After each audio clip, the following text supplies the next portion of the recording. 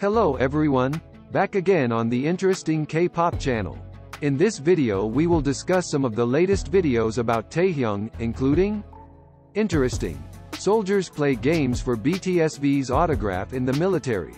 A netizen on Instiz made a post entitled, BTSV becomes Na Young Sok in the military KKKK, attracting attention. The netizen revealed that they got versus BTS's autograph but the process was very funny. They said, I saw on the news that V was coming to where my uncle works and this is the story of how he got Taehyung's signature in the military, according to my uncle. They added, you brought a post-it with your name on it. If you are an officer, you will get five signatures, and if you are an assistant, you will get two. The officer will immediately accept the signature, but in the case of the assistant, he will not just give it to you. Signature.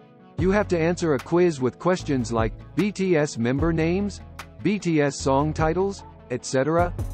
If you get it wrong, another assistant will hold your hand and walk you funny.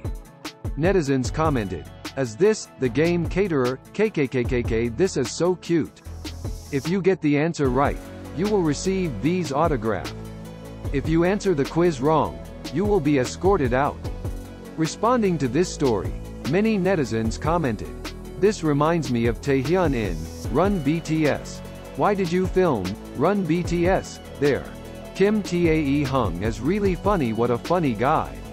Many armies don't even have a chance to get his autograph, but soldiers get it easily.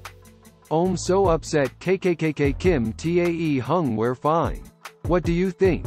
Thank you so much for taking the time to watch our videos on this YouTube channel. We really appreciate your support and attention. We hope you continue to enjoy our content. See you in the next video. Thank you very much.